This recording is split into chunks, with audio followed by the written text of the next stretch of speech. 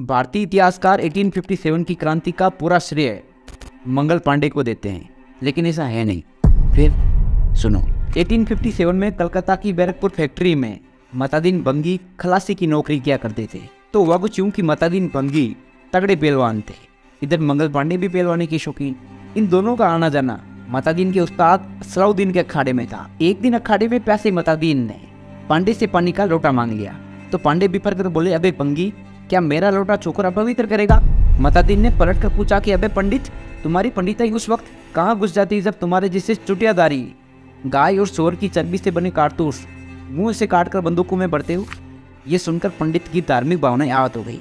ये बात पूरी छावनी में आग की तरह फैली। परिणाम थे दस मई अठारह सौ सत्तावन मंगल पांडे ने विद्रोह कर दिया, जो बात में बढ़ता गया। फिर विद्रोह भड़काने के जुर्म में मतादीन बंगी को फांसी दी गई।